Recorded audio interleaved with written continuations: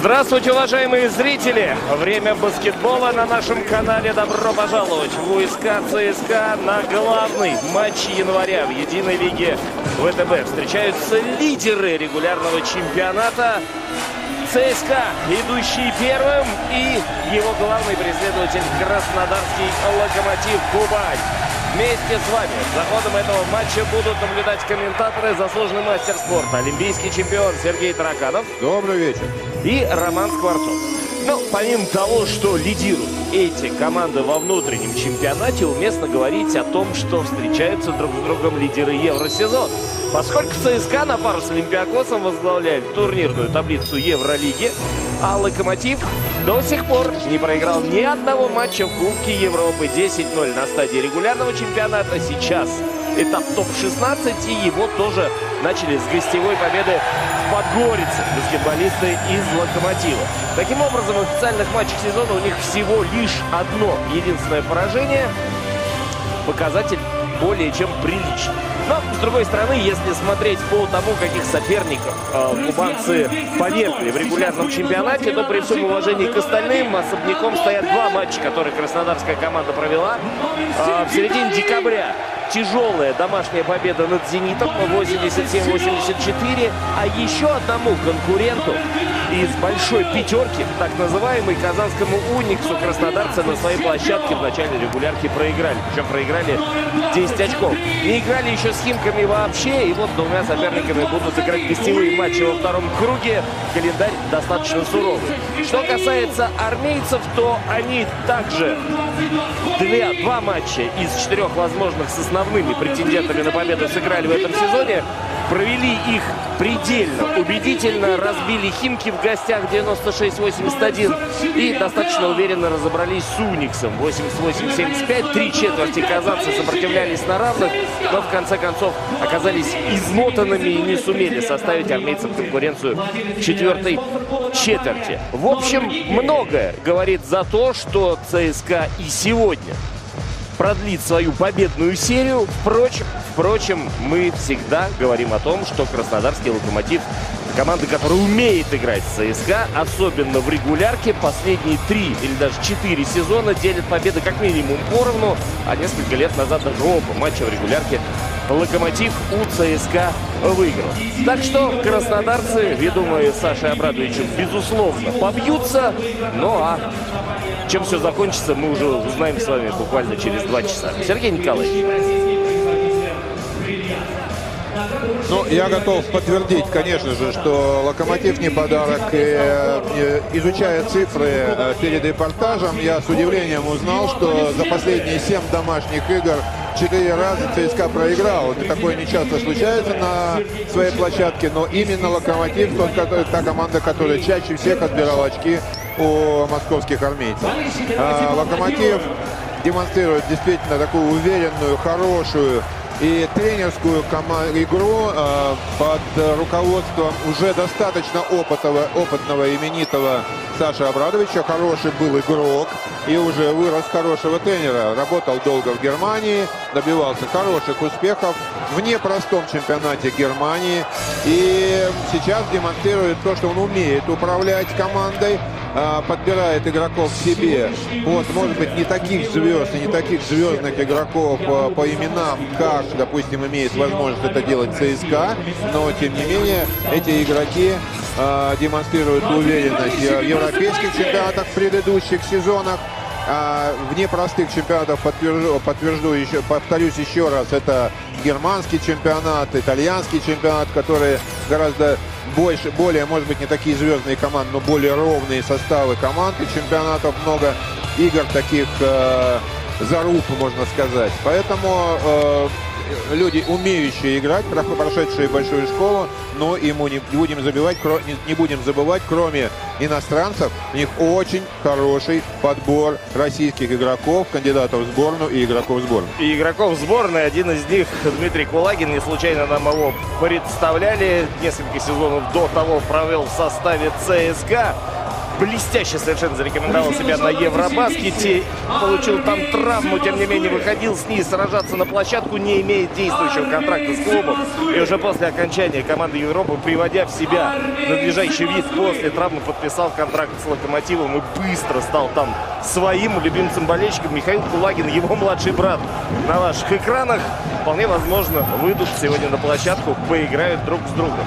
Составы команд на ваших экранах. У э, Локомотива нет сегодня Джо Регленда, одного из основных разыгрывающих, лидера по голевым передачам. Он просто лишний иностранец в ротации кубанской команды. Ну и что касается ЦСКА, здесь есть весьма весомая во всех отношениях потеря. Нет Кайла Хайнца. Для него прекрасно начался 2018 год. 1 января у него родился сын. Отыграл в Барселоне, и команда отпустила Кайла в Америку увидать своего новорожденного сына, удержаться за его крошечные ручки и вот почувствовать радость очередного отцовства. Кайлу большие поздравления, но и без него армейцы выглядят достаточно грозной силой. Стартовые пятерки команд появляются на площадке. У гостей Марди Коллинс, капитан команды под первым номером, Павел Антипов под вторым на позиции разыгрывающего Дмитрий Хвостов под 13 номером. Также Крис Беф 19 и Брайан Квали 41. Вот такой стартовый состав у гостей. Два россиянина в стартовой пятерке, как и у ЦСКА. Кстати сказать, здесь Семен Антонов на позиции центрового под 11 номером. Скорее даже мощного форварда, потому что центрить будет Отелло Хантер 44-й. Далее Никита Курбанов на позиции легкого форварда 41-й. Кори Хиггинс 22-й. И на позиции основного разыгрывающего Серхио Родригес лучший ассистент армейской команды. Кстати сказать, лидер по количеству игрового времени в матчах единой лиги ВТБ 22 минуты в среднем на, на паркете он проводит. Надо сказать, что у ЦСКА это уже последние, наверное, месяца полтора, наверное, уже такой традиционный состав стартовый. И э, Антонов, Семен Антонов завоевал право в стартовой пятерке, вытеснил оттуда и э, Хряпу, который чаще появлялся раньше, но вот сейчас очень, очень хорошо он и и нет, первая атака. Хиггинс, который является одним из самых результативных и самых острых игроков, проходящих, э, собирающих полы на себе и чаще всех пробивающих штрафные.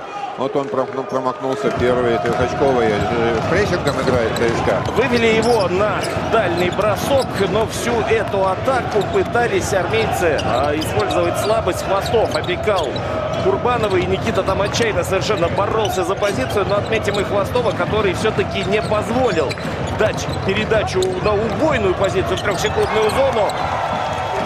Очень сложный мяч Бэк забил. Да, открывают Уверенно. краснодарцы счет в этой встрече. Ну и смотрим по защите, но на этот раз все согласно штатному расписанию. Хвостов против Родригеса. Курбанов в углу ждет мяча, но пока не видит его партнера. Семен Хороший короткий дриблинг, резкая остановка и бросок со средней дистанции. Провалился Антипов, счет сравнялся. Несвойственные, кстати, такие два очка. Именно э, вот короткий проход и выпрыгивание для Семена Антонова. Чаще он остается в ситуации, когда бросает э, с, такое, со стойки после отброса. Но в этот раз не сплоховал. Родригес по Хвостову. Коллинз в предыдущей атаке не сумел перебросить мяч через Отеллу Хантера. У того и руки длинные, и прыжок очень высокий, легкий на подъем. Квали вроде бы выиграл позицию, находился ближе к концу, но мяч ему еще туда нужно было доставить. И Хантер блистательно отзащищался совершенно. Здесь помогает Родригесу ввести мяч в игру, у которого уже начинался такой легкий кризис идей. Тот благодарность находит Хантера в трехсекундной зоне и фалят краснодарцы. Бэп Ценой персонального замечания останавливает большого ЦСКА на пути к собственному кольцу. Очень плотно играют краснодарцы, э, но здесь есть и опасность такая, то что э, проникающими передачами ЦСКА разрежет под оборону, как сейчас произошло. И Хантер ворвался вовремя, ворвался под кольцо и получил этот мяч, должен был забивать, но ценой персонального замечания Бэп его остановил. Хантер, ну, Хантер обычно неплохо бьет штрафные. Но, вот, Но не в этот раз. Да, первый промахнулся. Была, была история такая, что было под сомнением участие Хантера на игре с Барселоной. Небольшая травма и до этого у него была. Было под, под сомнением. Ну, вот И на щите, на щите борется всегда хорошо, со штрафными вот подкачал. Хвостов сейчас молодцом. Хантер, казалось, выигрывал дуэль уже у двоих железнодорожников, но Хвостов тут как тут оказался рядом, выбил мяч из рук могучего американца и пошла атака краснодарцев. Коллинс мажет из-под кольца, разгоняет контратаку. Павел Антипов вынужден остановить э, Хиггинса. Хиггинс устремлялся под кольцо. У него очень хороший проход под кольцо. Очень хорошо он на скорости действует. Но тут ничего не оставалось Антипову делать. Просто жертва, жертва такой ситуации. Ну, помешал Семен Антонов, кстати, вот в этой ситуации. И Коллинс промахнулся.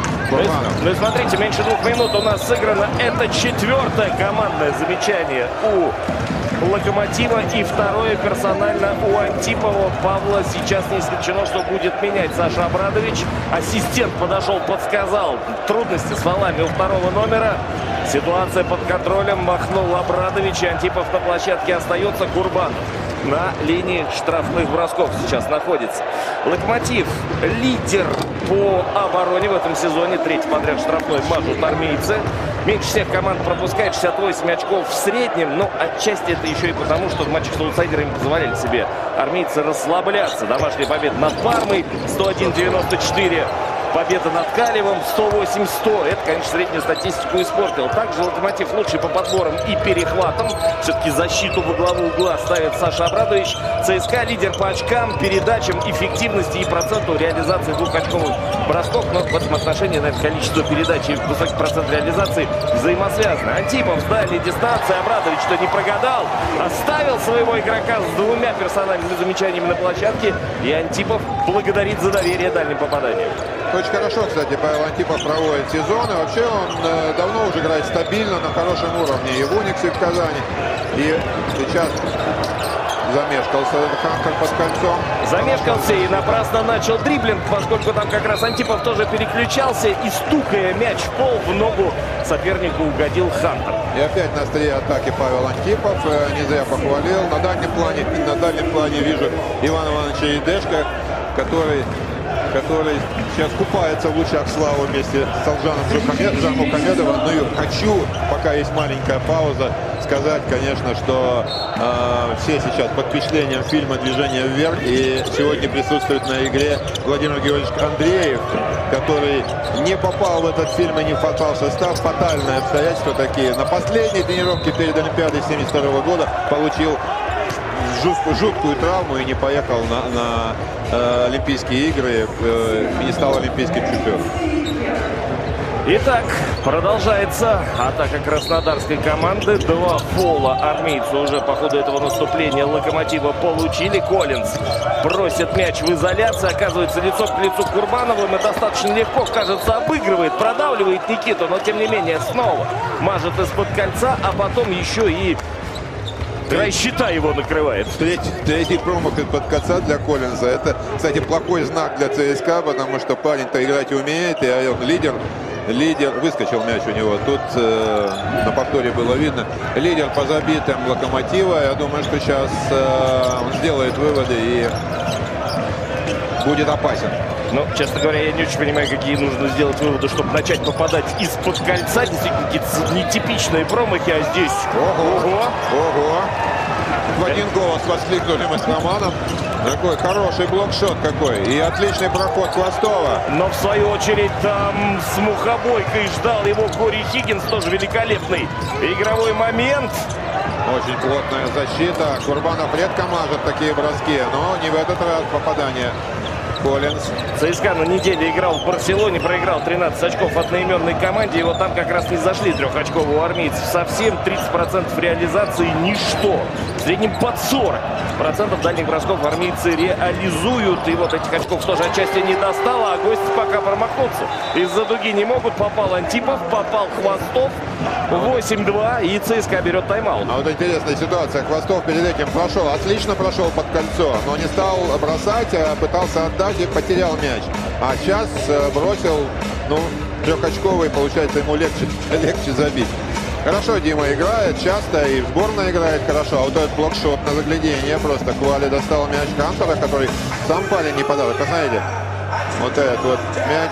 Но мог мог здесь э, спровоцировать пол от Хиггинса. Хиггинс высоко прыгает, но Хвостовок достаточно уже и роста, и опыта, и скорости для того, чтобы забивать самому. Единственное, что Хвостов почему-то подумал, что сможет он так легко Хиггинса перевисеть. Похоже, да, был у него вариант с передачей, но потом пришлось активировать план Б, и тут уже высоты прыжка не хватило. Готовить тепленьким взял его Кори Хиггинс. Хочу сказать про игру ЦСКА Барселона на выезде. ЦСКА проиграл. Кстати, не стало для меня сюрпризом то, что ЦСКА проиграл Барселоне. А Барселона в начале розыгрыша Евролиги выглядела совсем не так.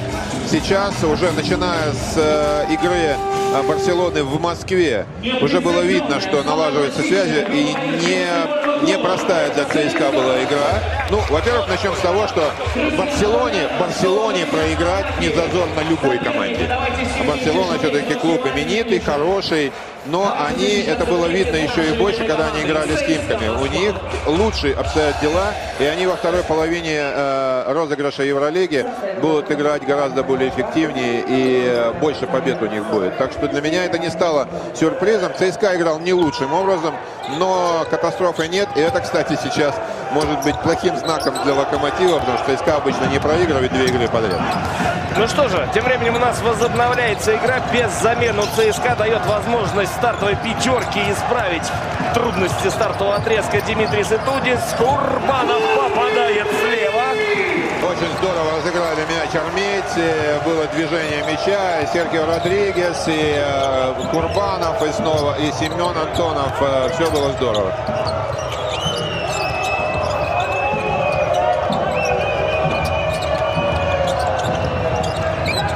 Опять Антипов из, э, из угла один остался. Подстраховка не успела. Хорошие мячи забивает Павел. Два трехочковых становится самый результативный у Кубани. Ну и что касается э, Локомотива, то как раз Марти Коллинс, намазавший в начале, остался на скамейке после этого тайм-аута. Очередной промах из-за дуги. И вроде бы потрогали этот мяч Семенов и Курбанов, подбрасывая его в направлении друг друга. Но в конце концов пришел Ковали, загробастал его своими огромными ручищами. Хвостов на ногах цепко защищается против него Родригес. Не самый великий защищающийся игрок, но тем не менее Хвостов сдержал. И тут уже хорош Семен. Отсекает Антипова от мяча. Родригес. Антипов и тут едва мяч у соперника не увел. Замена готовится у ЦСКА. Нандо Деколо готов вступить в игру. Хантер левой рукой не перевисел тут Блэк. Вместе с нами также за ходом этой встречи наблюдает Евгений Седых. Он включается от площадки, практически с паркета. Евгений, добрый вечер. Добрый вечер, Роман, Сергей Николаевич, уважаемые телезрители. Хотел сказать о том, что сегодня тренерский штаб ЦСКА подготовился к встрече с «Локомотивом» э, тактически очень неплохо. И в первую очередь, э, на самом деле, этот счет э, связан с тем, что не очень, возможно, четко выполняют установку игроки, потому что установка изначально была такова. Идти в проход и из-за очень агрессивной защиты «Локомотива» на периметре провоцировать фолы у кольца. То есть при жесткой опеке наверху нужно идти под кольцо, стараться э, порвать э, соперника именно на дриблинге. И вот Ателла Хантер сейчас именно это сделал. Ну а сами посмотрите, сколько неудачных бросков на периметре было у ЦСКА в эти первые пять минут. И все это связано с очень плотной защитой Локомотива. Как сказал э, уже Роман Скворцов, это лучшая защита Лиги ВТБ. Коллеги? Спасибо, Евгений. Отелло Хантер на линии штрафных бросков. Он уже дважды махнул, теперь дважды попал. Пусть и второй мяч таким трудом завалился. Замены у Локомотива произошли.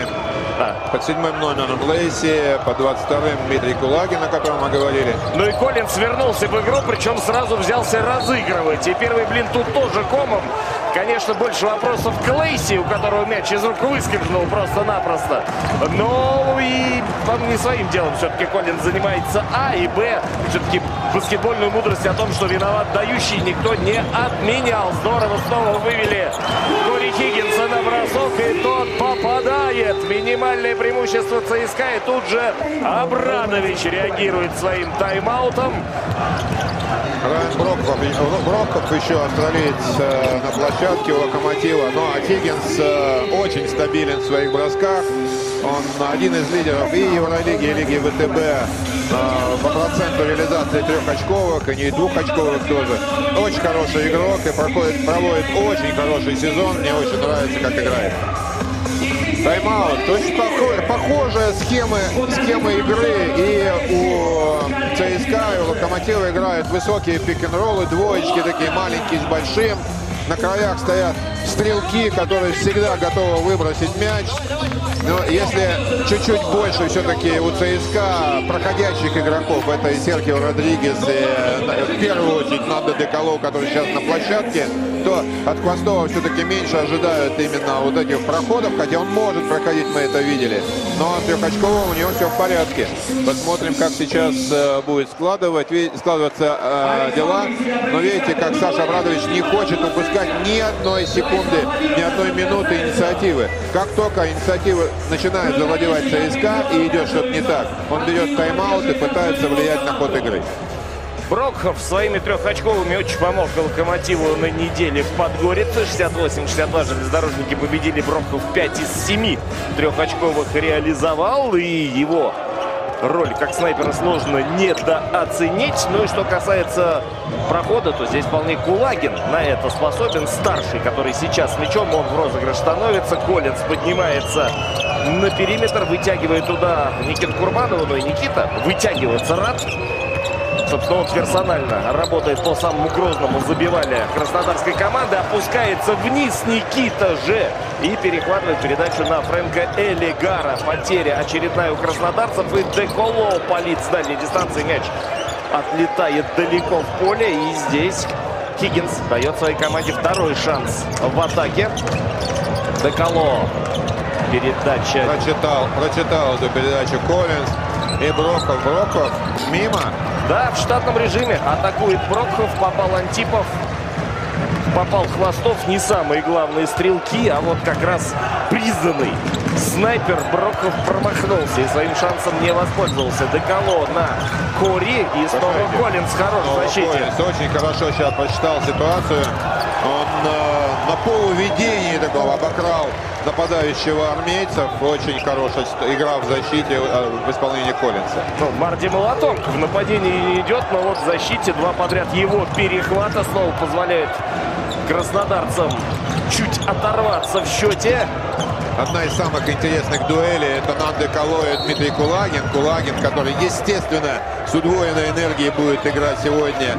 И это может сыграть и плохую службу тоже, потому что когда так хочется сыграть против своего бывшего клуба, и наверняка Дмитрий чувствует себя в какой-то степени... Что иногда забываешь о своих нынешних партнерах. Да, да, да. Но посмотрим, как Дима перешкалит у него эмоции или нет. У него бывало в его карьере из-за ЦСКА тоже, когда он очень хотел, и это играло не на руку и команде, и ему лично в его статистике замена у Локомотива. Коллинс ну, Коллинса нужно отдохнуть. Владимир Ивлев выходит под десятым номером. Ну и двойная замена у ЦСКА. Коробков и Воронцевич вступает в игру вместо Семена и Отелло. Ну а Кори Хиггинс там, где мы его часто видим в последнее время на линии штрафных бросков. Первая попытка уверенно реализована. 2.50 до конца и 2 очка преимущества Локомотива составляет. Я думаю, сейчас Локомотив будет чаще пытаться действовать через э, Дмитрия Кулагина, заставляя работать в защите Нанда Деколо, к которому есть претензии. И по игре против Барселоны, несмотря на его высокую результативность, а он был самым результативным в команде, у меня лично, как у э, специалиста, специалиста назовем, назовем, да, болельщика российских клубов и ЦСКА, конечно же, да, э, в Еврокубках, в Евролиге. Но есть много претензий по защите Нанда Деколо. Не был он там лучшим явно и даже совсем не был лучшим. Пока внутрь намерен доставлять мячи э, Дмитрий Кулагин. Правда, делает это Ивлев. Борется Элигар за позицию. Там неравноценный размен. Хиггинс ему противостоит. Но хорош Кори. И тут с запасом так Элигару мяч этот забрасывали. Там, по-моему, там на Шакила Анила рассчитывал этот пас, э, куда там под верхний край щита. Элигар высоко прыгает, но не настолько. Я бы даже сказал на Манута Бола, который еще умеет прыгать при этом. Да, да. В итоге потеря Судей мы не представили. Кстати, Милевой Йовчич, главный арбитр из Сербии, достаточно известный, в том числе и по работе в Евролиге и на крупных международных турнирах. Якуб Замойский из Польши и россиянин Семен Авинов в составе судейской бригады. ЦСКА имеет возможность выйти вперед в этой атаке. Воронцевич пока из угла заряжать не стал. Хорошая защита. Хорошо двигались э, краснодарцы. Не все. 4 секунды на бросок. И за счет подвижности Хиггинс обыгрывает Ивлева. Но у Владимира длинные руки. Мяч на переднюю дужку падает. Ивлева как раз под кольцом не хватило. Армейцы забрали подбор. И тут уже против Лейси Воронцевич может центрить. Выманивают Элигара на подстраховку. Уже втроем. Железнодорожники под своим кольцом. И не успевают армейцы Ну, выпустить мяч Браво, для сирены. браво, Локомотив. Очень хорошо действовали в защите. Могу отметить Владимира Ивлева, который не проиграл Хиггинсу, несмотря на то, что у того гораздо выше скорость. Но за счет своей подвижности Ивлев не сблоковал и заставили нарушить правила 24 секунд. Клайберн не успел, хоть и забил этот мяч, но уже после сирены. Клайберн, кстати, тоже был под вопросом его участия. Он получил небольшую травму, приземлился на копчик прямо в игре с Барселоной. Была проблема, но вот сейчас он в защите против Кулагина, все в порядке. Виталий Фридзон на площадке вместо Кори Хиггинса. Таким образом, вся стартовая пятерка ЦСКА сейчас отдыхает, но в матчах внутреннего чемпионата дает Дмитрий Сытудис возможность восстанавливаться своим лидером от графика Евролиги. И говорили мы в начале, да, 21 минута, вполне себе щадящая. Это показатель самого долгоиграющего игрока в составе ЦСКА Серхио Родригес в матчах Единой Лиги. Павел Коробков Лейси там придерживал придерживал Коробкова, не давая ему получить, не давая получить преимущество под кольцом Коробкова. Коробков гораздо выше. Но, тем не менее, э, это все равно не на руку. Там уже Ивлев стаковал, можно было и не фалить. Коробков будет пробивать два штрафных. Бет возвращается в игру вместо Лейси. У Лейси два персональных замечания, равно как у Антипова и Беба. Ну а Павел Коробков, кстати, воспитанник э, молодежного проекта «Локомотива». Ну, как часто бывает, и переплетений очень много бывает. Но, кстати, у нас два бывших одноклубника э, за университет играли. И э, Клайберн и Бэп играли за один университет в Америке. Какой? Айова, по-моему, да? Не помню Да, точно. Айова стоит, если Айова не. Стейт, да. Тем временем снова до одного очка сокращается преимущество краснодарской команды. Дмитрий Кулагин переключаются на него поочередно Клайберн и Коробков. Очень далеко Кулагин. Может он такие забивать, но... Элигар это одно из главных приобретений краснодарцев. Э, Забрали они этого игрока из Енисея в прошлом сезоне. Элигар выступал за Енисея, был там очень-очень полезен. Но и здесь возглавляет э, таблицу цифры по коэффициенту полезности за локомотив. Хотя не так результативен, но тем не менее Чуть очень меньше активен. подбирает, но тем не менее, да, очень большой объем работы выполняет. Что еще про Элигара? Он вообще давно уже играет в единой лиге, собственно, играл в Калеве. И казалось, ну, нет для больших дел.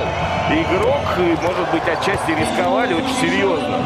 А, в Краснодаре, доверяя ответственность за судьбу передней линии Элигару, но он показал, что является квалифицированным мастером и нисколько не деградировал. Будучи лидером команды, которая на многое, в общем, не претендовала. Очень помогает ему. Высокий рост, он может быть не такой атлетичный, но не такой мощный, может быть, но атлетичный. И высоко прыгает, э, борется, хорошее отношение. Такие люди востребованы в Европе. Да, с точки зрения рабочей этики, собственно, отношения к делу к Элигару никаких вопросов не было никогда. И такое ощущение, он еще подсушился даже немного. Он и был -то таким не очень мощным, но сейчас вот одни мышцы и сухожилия. За счет этого очень здорово. Ловил, ловил фол на себе Нандо Деколо после подбора своего в атаке, но фол поймать не удалось, но тем не менее два очка еще. И вот Кулагин. Кулагин в проходе через Клайберна плюс один делает Дмитрий Не Кулагин. просто это могу сказать, через Клайберна забить, э, который с, э, с длинными руками, с высоким прыжком, гораздо выше Дмитрия Кулагина. Но Дима хорошо прошел правую сторону, укрыл мяч. Знаете, Да, выиграл, выиграл, позицию и Выиграл. за счет длины рук сумел убрать мяч от расстояние, Клайберна. да.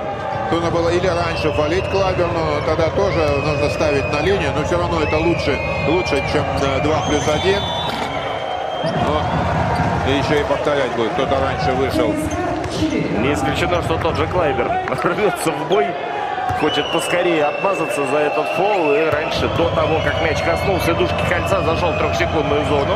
28 секунд э, до конца первой четверти. Странно, Дмитрий Кулагин смазал два штрафных. Что-то сегодня со штрафными не очень хорошо, что в начале 4 подряд у ЦСКА редко такое увидишь. Что сейчас Кулагин два подряд промазал. Элигар, пытаясь выбить мяч из рук Воронцевича, правила нарушил. И поскольку уже давным-давно... У Клаберна два персональных замечания, поэтому заменил его и Тудис на Курбанова, у которого нет замечаний персональных. Курбанов, как обычно, главный персональщик команды, играл первые минуты против Коллинза, который сейчас вышел тоже вместо Ивлева. Видимо, на последнюю атаку Э, Абрадович рассчитывает, э, что его лидер принесет очки.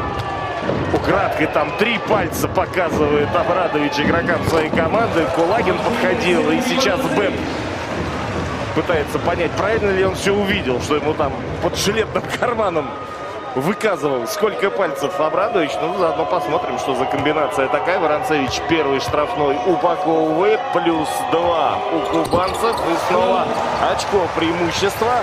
Ну, а может быть, еще вот эта замена Ивлева связана с тем, что хочет насладиться зрелищем чистенького. Ивлева без фолов. Обычно Владимир так склонен к быстрому набору персональных замечаний, чему виной его неуемный темперамент, кураж и желание успеть за всем. А вот сейчас отыграл достаточно солидный кусок первой четверти и без фолов. Молодец Владимир. Коллинза выводит на бросок из угла. И он мажет. Фридзон. Есть у него время разогнать эту контратаку. Убегал Деколо, но Кулагин перехватил эту передачу. Первая четверть позади. 19-18. Локомотив Кубань выигрывает у ЦСКА. Продолжение следует. Оставайтесь с нами.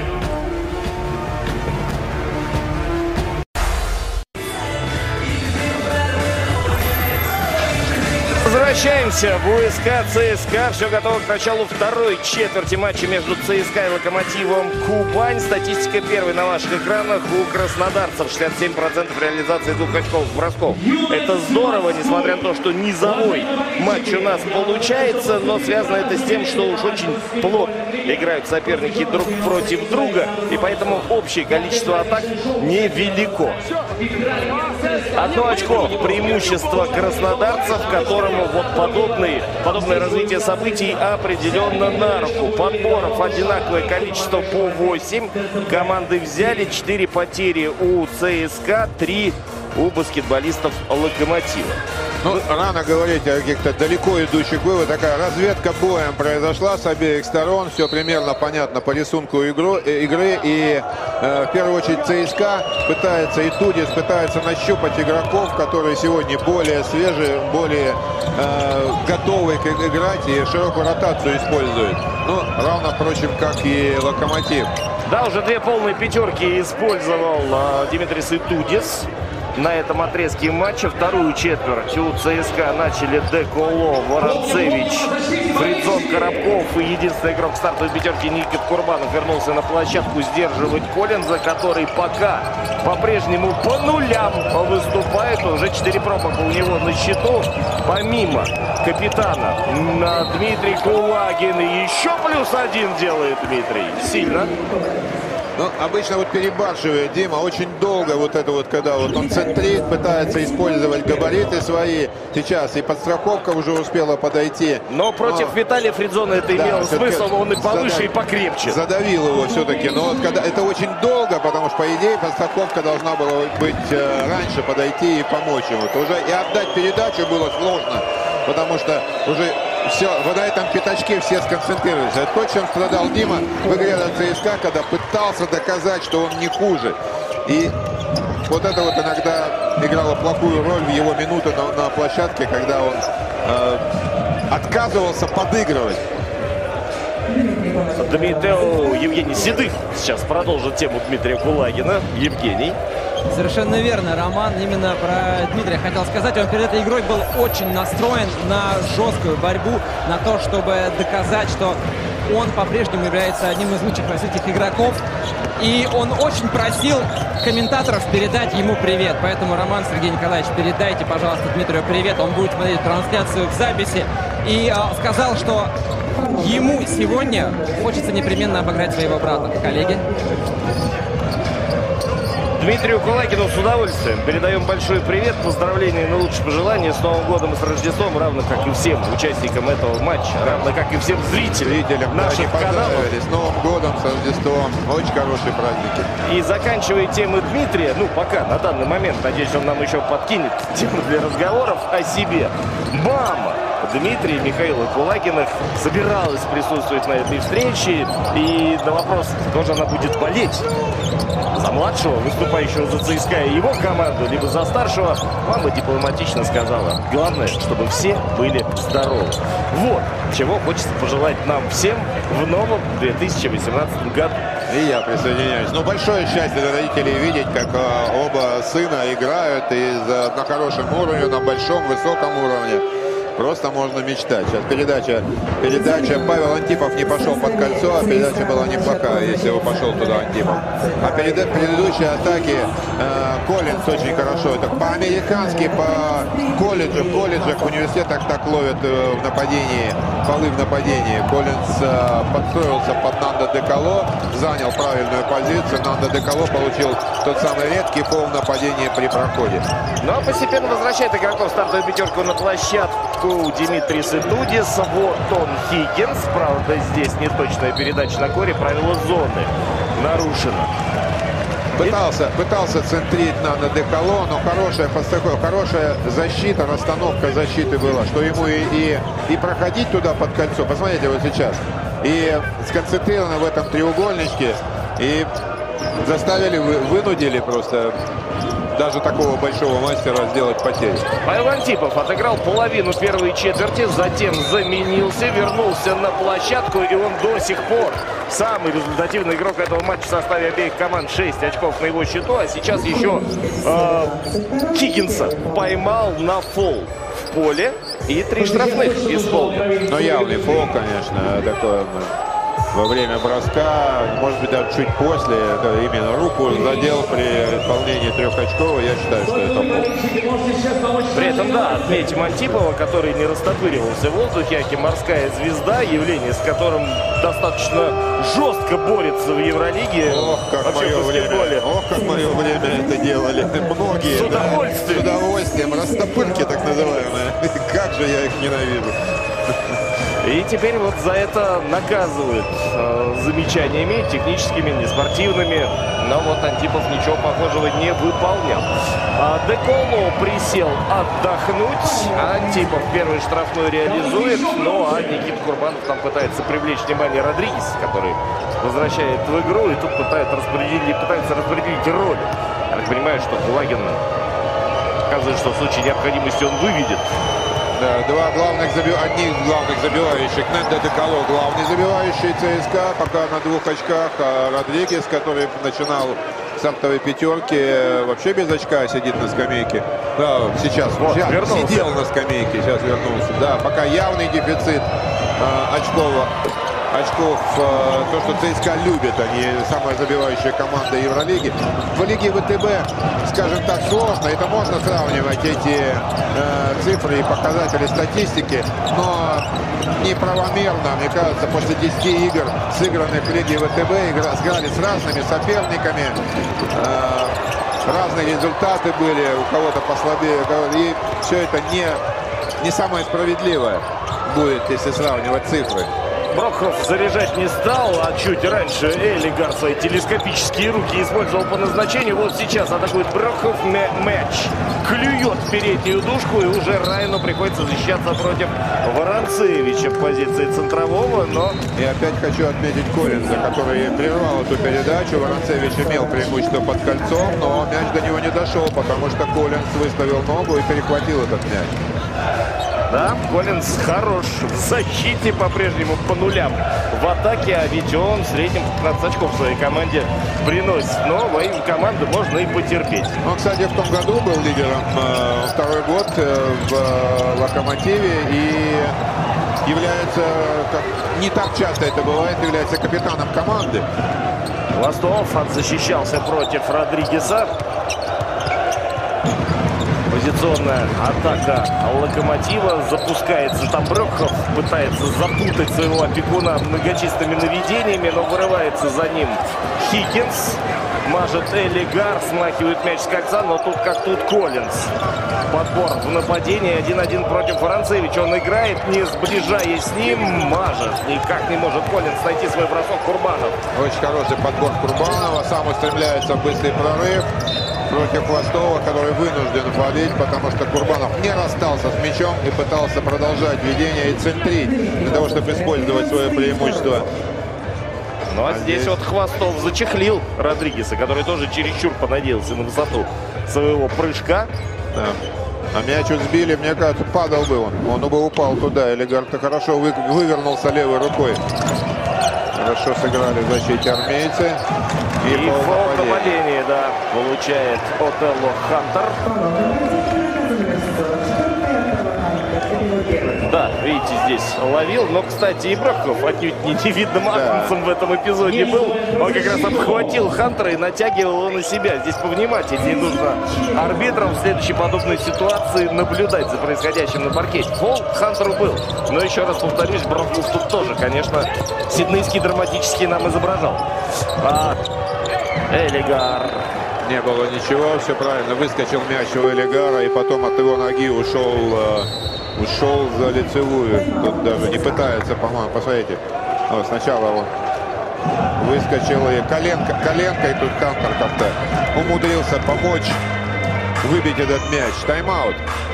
7 очков. Преимущество краснодарцев не складывается игра у ЦСКА пока. Хорошо играют в защите.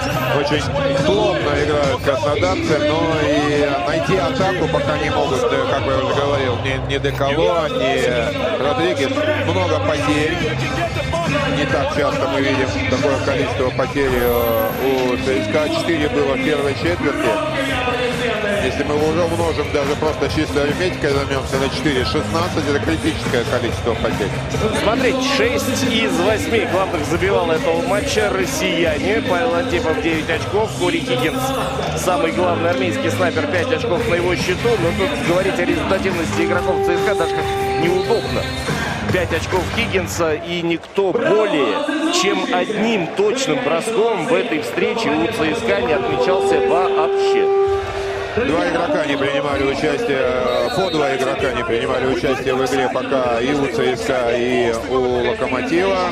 У ЦСКА это Михаил Кулагин и Виктор Хряпа, который последнее время уступил свое место Семену Антонову. А, ну а Локомотива это Евгений Бабулин и Ильницкий Станислав. Причем люди, которые, в общем могут, могут выйти. Вписываются в концепцию Абрамовича, да, могут выйти и могут защищаться.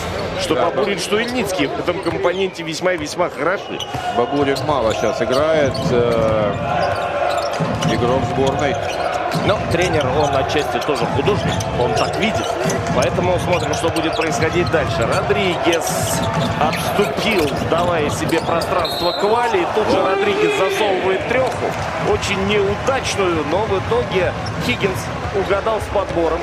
Ну и как сложный мяч левой рукой, находясь спиной к кольцу. Какой, если повтор мы увидим, посмотрите, непростой мяч забил Хиггинс. Плохая атака. Вот он здесь. Левой рукой и с полом Павел Антипов. Это третий фол его. Родригес потом скажет, что нет, это не промах. Запишите мне голевую передачу в протокол. Да-да. И, кстати, три минуты потребовалось армейцам, чтобы забросить свой первый мяч во второй четверти. Три очка на водной атаке от Кори Хиггинса. Четыре очка преимущества Локомотива. И вместо Антипова вот как раз Станислав Ильницкий появляется на площадке впервые в этом матче. Проблема в том, что у Антипова три персональных замечания. К этому моменту уже.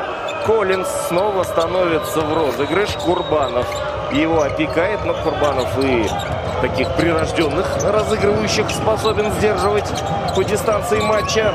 Так что с Коллинзом в этой позиции вроде проблем у него быть не должно. Квали на этот раз не было Хантера, которого не смогли перебросить краснодарцы в прошлый раз. И здесь мяч до Квали дошел, но до трехсекундной зоны не промахнулся. Хантер в лоб несется мстить мгновенно, и месть его была бы страшна, если бы Хантер попал. Булагин не стал там искать Брокхофа передачи в этом возможном отрыве. Доставил мяч в передовую зону. Ильницкий, конечно, нужно время ему, чтобы войти, поймать ритм этого матча. 7 секунд на атаку. Кулагин против Хантера тут уже не поцентришь. А вот Хиггинс против Квали отбился. Хотя, в общем, наверное, тоже не без хитростей, поскольку как-то уж так повалился Квали непонятно совсем. Семенов пролетел кольцо. Семен Антонов пролетел кольцо. Такая две атаки в молоко, что у той и другой команды. А Квали перед этим очень интересно. Он так валился, всей массой пытался продавить, и в результате защитник отступил, а Квали оказался на полу. Против Родригеса не отважился центрить Кулагин. Вот момент, когда Коллинз все-таки забросил мяч туда, в трехсекундную зону Квали. А Хантер как раз вышел на подстраховку, но опущены были его руки, и вот этого зазора как раз хватило. Ну и чуть-чуть придержал левой рукой Курбанова, который э, без нарушения правил такое, но такое движение рукой было. Курбанов не, не сумел выпрыгнуть вовремя, перехватить этот мяч. Ну и передача была хороша. Кулагин после двух промахов с линии тоже не мажет. Но в протокол-то там попал один. А вот, пожалуйста, и хряпу активирует Димитрий Сытудис. В следующей паузе капитан ЦСКА появится на площадке. Два из двух от Кулагина. 8 очков вновь составляет преимущество Локомотива. И Виктор Хряпа вместо Семена Антонова как раз появляется на площадке. Все так же прессингуют. Не может быть не так активно, но тем не менее... Но они сдерживают. Сдерживают, сдерживают, не, дадут, не дают разогнаться ЦСКА. Не дают свободной жизни тому же Родригесу. Хряпа с места в карьер. Сразу проход в лицевую, пас. Хиггинс. Ну, так смотрите, каждая вот такая защита Локомотива крадет у ЦСКА, ну, секунд 4-5.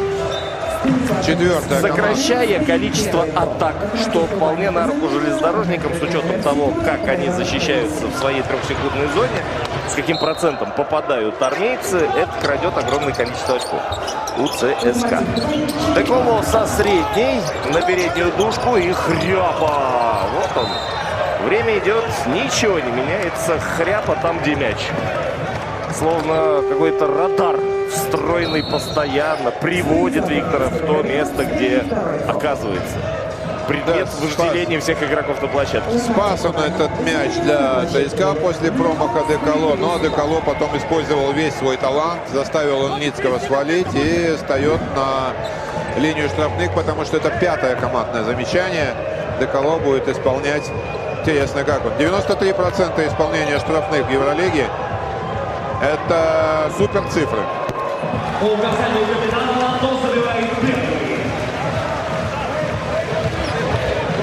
Чтобы пересчитать промахи Деколо с линии по итогам сезона, иногда достаточно пальцев двух рук.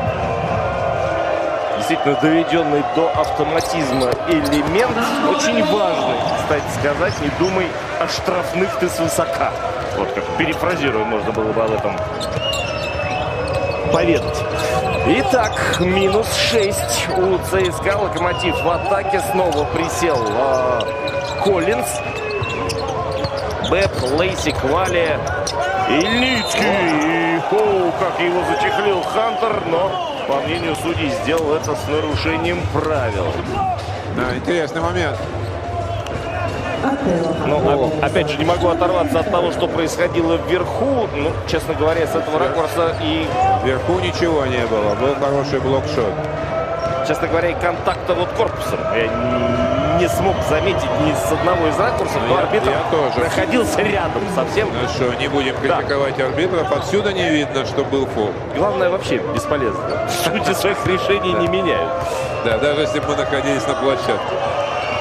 Ильницкий один из двух. Деколо забирает подбор и сразу высматривает э, Хиггинса, который побежал в контратаку, но вернулся Кулагин, подхватил его рывок, и Деколо предпочел не рисковать. Плохой заслон. Э, Хантер, не поставив заслон, уже рванулся под кольцо.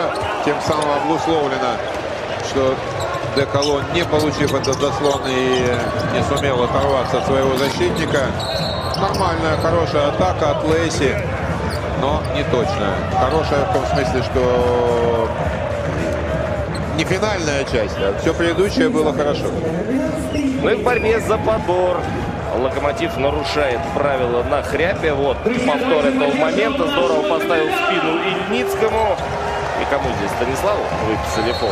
Скорее всего, да. Поскольку подталкивал он хряпу в спину. Ильницкий уходит. Брокхов на паркете. Ильницкий сыграл только пару минут, а уже три фола успел схватить. И снова так отправляется на дальний конец скамейки запасных. И в следующий раз прибегнет к его услугам совсем не скоро. Саша Абрадович по ходу этого матча. Хряпа реализует первый штрафной. И тут с восторгом трибуны отзываются на предложение поиграть в игру «Закончи» фамилией имя Виктор. Хряпа несется из разных секторов.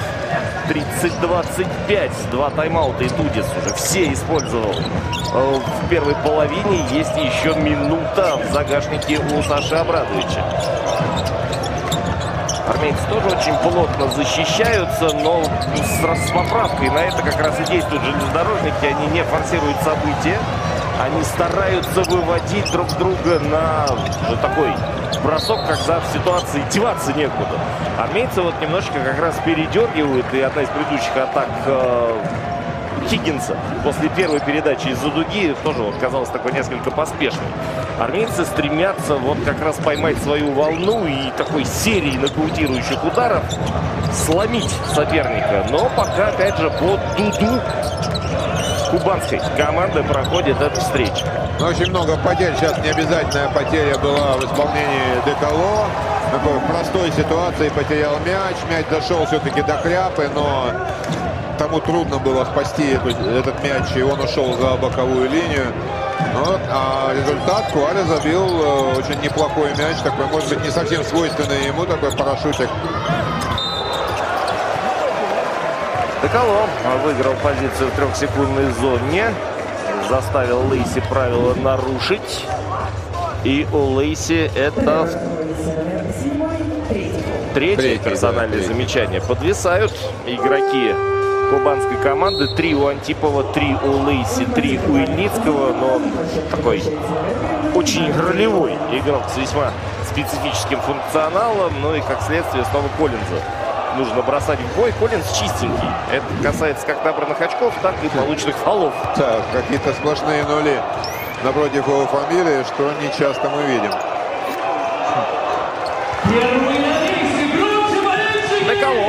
Достаточно уверенно. Первый штрафной реализует. 6 очков преимущества Локомотива. Саша Абрадович там продолжает переживать по этому поводу. Ну, вообще, конечно, за наставниками сегодня наблюдать это вообще отдельный жанр. По итогам матча можно самый настоящий видеоклип сделать с тренерскими танцами вдоль бров.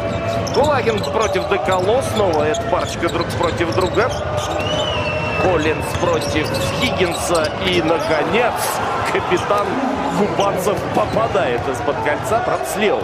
Очень Края справа намазал, слева попал. Очень хорошо вытянулся такой, прямо вот э, видно было, как он вытянул э, руки в высоком прыжке и в самом верхней точке выпустил этот мяч. Непростой мяч забил уже в этом в мясорубке там под кольцом. Здорово Б. Сначала пришел сдваиваться на хряпе, который центрил против Лувашева. Деколо. Такой мяч Деколо забил. Затыкает Сирену об окончании атаки своим дальним попаданием 34-30. И вот вся эта хорошая работа Беба пошла прахом. Но опять же, здесь повезло армейцам отчасти. С другой стороны, Деколо. С ним нужно постоянно держать ухо востро. Брокхов через руку Хряпы тоже попадает. И кто скажет, что и Брокхов не заслужил Как хорошо, вот хочу заметить, как все-таки разыгрывали эту ситуацию два человека, два игрока на краю. Пытался центрить Коллинз, отдал Брокофу. Броков на Коллинза, Коллинз на Брокофа. Несколько раз передавали друг другу и все-таки дождались момента, когда Хряпа, отступая для того, чтобы подстраховать Коллинза, чуть-чуть опоздал. Этого хватило Брокхофу для того, чтобы с высокой траектории бросить и забить этот трехочковый. Ну и сейчас Коллинз с Брокхофом на пару обокрали Хантера под своим кольцом. Коллинз заработала ну, вот Марти то, Коллинза. То, о чем я говорил, что может быть это опасно для армейцев, когда лидер не забивает какое-то время. Все равно он будет забить, без очков не уйдет. О, последнюю секунду отдал на наигранно, уже не глядя практически отдал э, Нанда Деколо туда на Хантера, зная, что он должен быть там. И Хантер вовремя сделал это движение под кольцо и выловил этот мяч. Хорошая командная работа.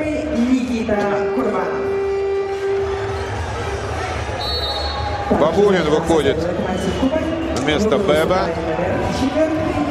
Первое появление Евгения на площадке, четвертый номер Локомотива. Ну и, собственно, 12 игроков уже задействовал Саша Абрадович в первой половине этой встречи.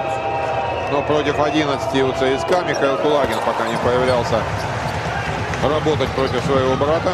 Да, но при этом, опять же, есть этому объяснение. Четыре игрока Локомотива, три фола имеют в своем пассиве за минуту 38. И сейчас просто рисковать нельзя никоим образом четвертым фолом. И вот поэтому Ильницкий и Бабурин получают свой шанс. Кулагин против Деколо отправляется внутрь. Скидывает на периметр. И здесь уже Коллинз призывает всех успокоиться, не пороть горячку. Квали очень, очень далеко. И очень плотно Хантер против него. Да, защищается так, будто Квали известный снайпер, специалист по трехочковым броскам. Коллинз промахнулся два подряд. Не глядя. Просто, ну, перекрывали ему небо там, он просто на, в сторону кольца бросил, но Деколо. С этой точки попал в более пиковые ситуации, стрессовые. Сейчас промахнулся. И здорово опять отсекли краснодарцы своих оппонентов с пола. Они забрали этот мяч, такой высший шик для защищающейся команды. Ох, Абрадовича сейчас надо видеть, как он скачет там, как он руками машет своей команде на квале, потому что тот не, не туда встал, куда нужно. Кулагин. Хороший подбор от Хряпы и знаменитый его известный пас прямо практически сразу после подбора э, просто для учебника детских спортивных школ. Хряпа, выпрыгивая на подбой, уже видел, что Нанда Деколо туда убежал и отдал точно ему в руки. Как результат, Нанда Деколо на линии штрафных. Да, пытался обезвредить Кулагин своего оппонента, но нет. Деколо на линии штрафных бросков э, в 9 случаях из 10 это гарантированные 2 очка. На последние 32 секунды Итудис э, выпускает фридзона Семена Антонова. Деколо тем временем обгоняет Павла Антипова в споре главных бомбардиров этого матча. Десятое очко набирает Нандо Деколо, становясь первым баскетболистом, вышедшим на этот рубеж. 32 секунды до конца. Еще по атаке Его и соперников. Его и поменяют, я думаю, если он попадет. Нет, уходит Хантер и уходит Родригес. Деколо нельзя. Он пока справляется с Кулагином и как раз, может быть, забирается ему под кожу. Может быть, и провоцирует на эти броски. Сразу после которого в предыдущем моменте Деколо убежал и заставил того же Кулагина свалить. Это интересно, при, при наличии Бабулина э, номинального плеймейкера э, мяч выводил Коллинс и уже не первый раз в этом матче. В розыгрыше как раз сейчас он, он там. И опять очень сложный мяч забивает, практически не глядя э, против лучшего защищающегося игрока Курбанова. Ну, хороший мяч забил Коллинс. Ну а тут Деколо, Фридзон. Вот для чего его выпустили. И он попал. Отличное завершение первой половины. Фридзон. Самый быстрый ствол Запада по-прежнему в деле. Смотрим, как вывели его на бросок. И но вторую четверть опять выигрывает Локомотив. Да? Если первое у них было плюс очково, напомню, 18-19, э, выиграл, э, проиграл, проиграл ЦСКА первую четверть, сейчас 37-41. Локомотив впереди, продолжение следует. Оставайтесь с нами.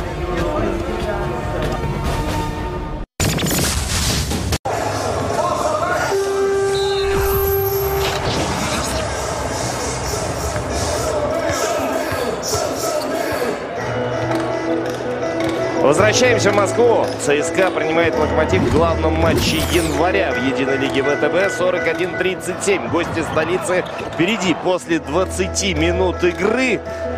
А, статистика первой половины интересна тем, что гости значительно превосходят ЦСКА в реализации бросков 52% попаданий с игры. У краснодарцев 29.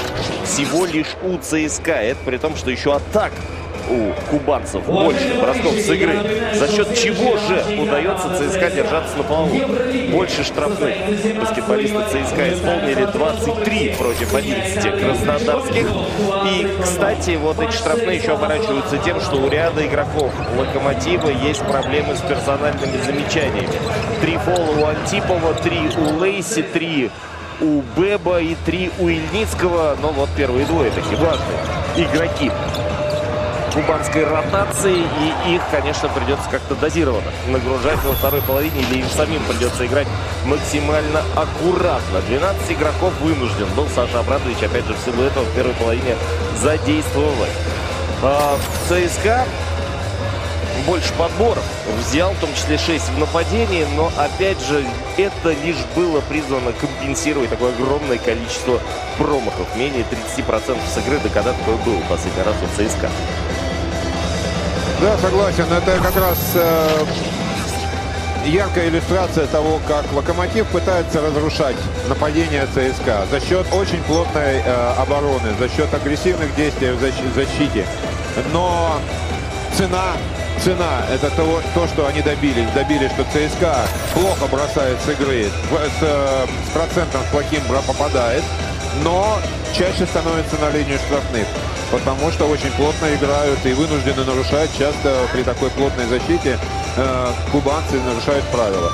Вот и выбирай, называется. Или дай бросать спокойно ЦСКА в расчете на то, что они не отпадут. Или играй очень агрессивно, но есть возможность, что они будут вставать на линию штрафных, что часто делает тот же Нандо Деколо и же с ним. Дмитрий Сатудис пытается все очень резко перетряхнуть. Лишь один игрок из стартовой пятерки. Это Никита Курбанов. Вместе с ним на площадке Нандо Деколо, который становится в розыгрыш. Отелло Хантер, Виктор Хряпа лишь под занавес первой половины появившийся на паркете. И, и Уилл Клайбер, который тоже, в общем, был достаточно незаметен до большого ну, перерыва. всего лишь две с лишним минуты. И такое ощущение, что он не совсем здоров. Ну, во всяком случае, мне так почему-то показалось. Но присутствие его сейчас на площадке опровергает мою какую-то догадку. Мне кажется, все так же плотно действуют э, кубанцы. И даже Хвостов, несмотря на свою Уступая в габаритах, сейчас пытался выбить у Курбанова, выбил мяч, оказался в ауте. Брохов против Клайберна защищается. Тоже два игрока не из старта на первых секундах третьей четверти на площадке Локомотива. Это Брохов и Элегар. Выигрывают армейцы щит, Хряпа, Курбанов.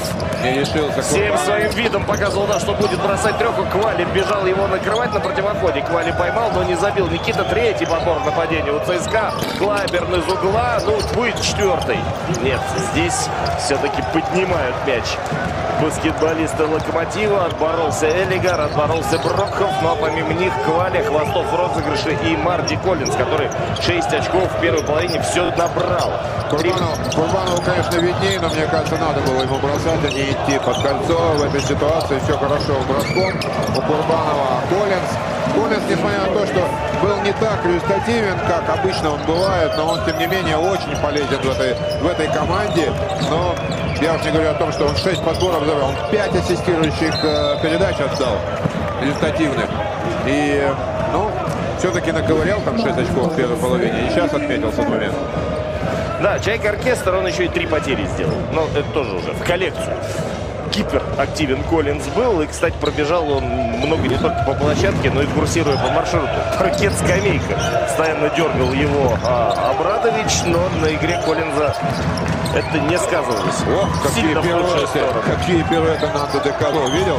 Да, Клайберн под кольцо, но все-таки не сумел поразить цель, хотя, казалось, уже выиграл. Позицию выиграл руку у Брокхофа, но нет. Квали на Квали кольцо даже не смотрит. Хватит, да. 10 секунд на бросок остается у Локомотива. И ситуация не самая хорошая, поскольку Хвостов тут под двойной опекой больших людей. А вот Элигара нашли, и Элигар словно и не было там Нанда Декало. Надо поберег себя, прям скажем, фол должен был получать момент получения. Без Элигара мяча. В защите Клайбер против Хвостова. Надо центрить. Хвали помогает. Хряпа видит Курбанова на противоположном краю площадки. И Никита под 45 и валивает свою треху через Коллинза. 45-40. Такой на класс сейчас забил Курбанов. Мне кажется, сам сомневался. Нужно бросать, но по всей логике нужно было бросать. Не стал это делать Проколот. Кряпа своими длиннющими руками выковырил этот мяч у Олигара. И своевременно на Деколо Нандо оставалось только попасть. Рывок в ЦСКА и Абрадович нет и не берет тайм-аут. Плюс три остается у его команды две с половиной минуты. ЦСКА не мог поразить кольцо соперника, но вот пять очков подряд сумели набрать. Подставляется Деколо и на этот раз успешно. Отомстил. До этого Коллинс э, сымитировал фол нападения на Деколо. Надо Деколо все сделал с точностью до надора. Евгений Седых с очередным наблюдением за ходом этого матча. Вам слово, коллега. Э, спасибо, Роман. Хотел сказать о том, какие корректировки внесли наставники обеих команд в перерыве. Мне краем уха удалось подслушать э, установки тренеров. Э, ЦСКА хочет бежать в быстрый отрыв, в быстрый прорыв, потому что очень медленно возвращается Локомотив в защиту, и легкие очки будет ЦСКА легко набирать, если увеличит темп игры. В свою очередь, Локомотив очень плотно хочет играть в получение, особенно при игре спиной к кольцу кого-то из армейцев. Коллеги? Спасибо, Евгений. А, ну, действительно, раннее нападение нужно. Это, опять же, при таком низком проценте попаданий проведет, во-первых, к его росту, а во-вторых, к увеличению количества атак. Это важный момент. Клайбер по-прежнему не может попасть из-под кольца, но на этот раз, по крайней мере, на нем фол получили. Так что Клайберт становится на линию штрафных бросков. Уходит Хвостов, у которого два персональных замечания. Возвращается на площадку Дмитрий Кулагин в первой половине принесший своей команде 7 очков. Не в своей тарелке, мне кажется, Клайбер находится. Сделал вроде все правильно, прошел. Прошел. Обычно он забивает такие мячи с фолом. Но что-то вот на лице написано, что что-то не так. Деколо получает фол, преодолевая заслон, который ставили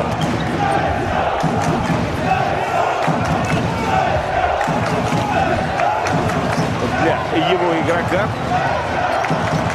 Три фола у кубанцев. Первый получили армейцы в третьей четверти. Лейси вернулся в игру. Брокхов не успевает за ним Клайберн. И Брокхов вот с этой точки, с вершины дуги, второй трехочковый попадает в этом матче. 48-43 плюс 5 поддержал свою команду Брокхов этим дальним попаданием. Клайберн снова внутрь, обостряя ситуацию, стягивает к себе по страховке. Передача неудобная. На уровне колена где-то Хантеру нужно было этот мяч вылавливать со скоком от пола. Вот, смотрите, Элигар пошел и, собственно, даже ниже колена мяч в ногу ударился. Плохая передача. Да, но нужно обратить внимание, Хряпа-то был в углу один. За счет Хряпа страховали. В результате э, должна была передача пойти именно Хряпе туда. Он хлопал в ладоши, показывает, что дайте мне мяч. Не увидел Клайбер.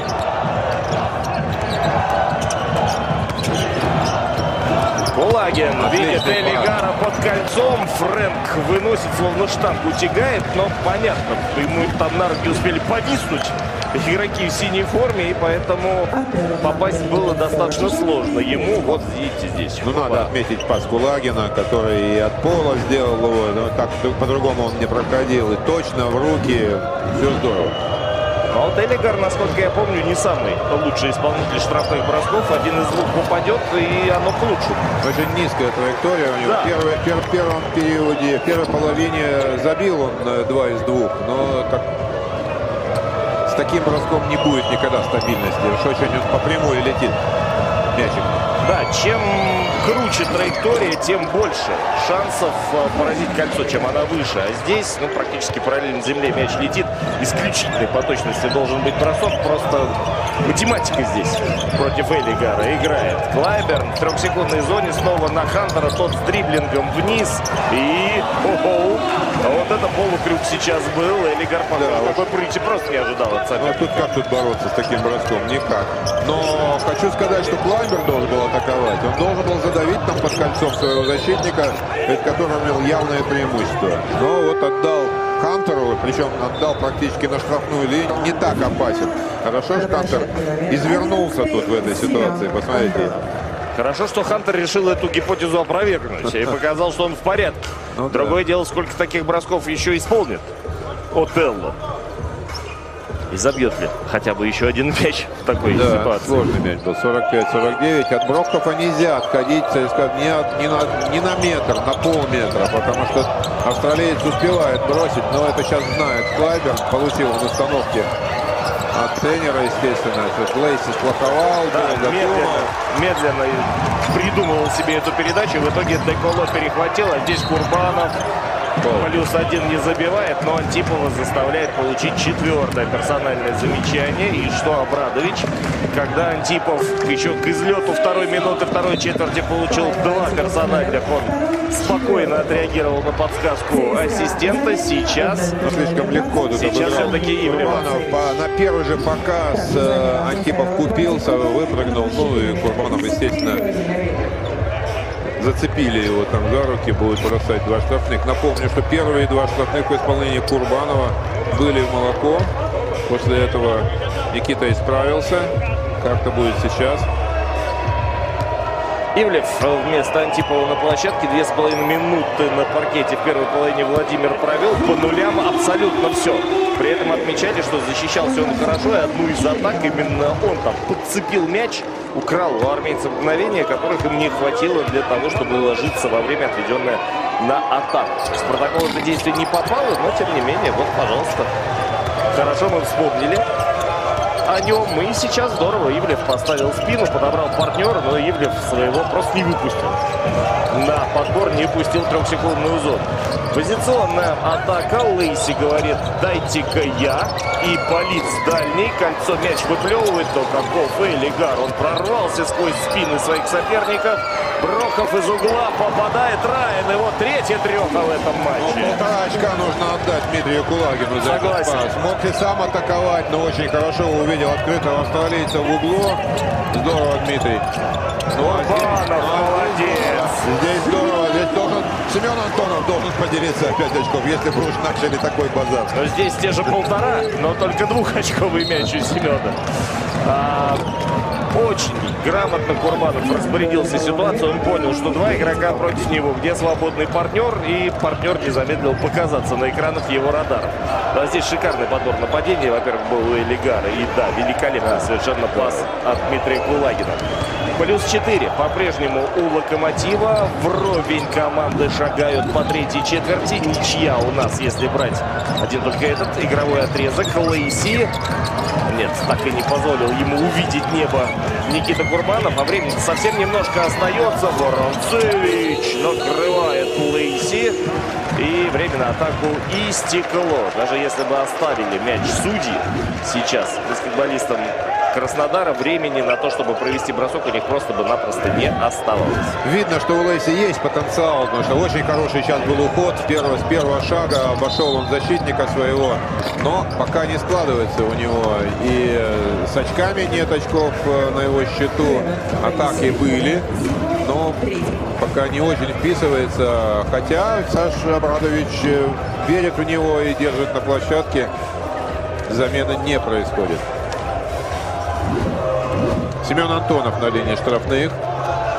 Есть шанс сократить до одного двухочкового попадания разницу в счете.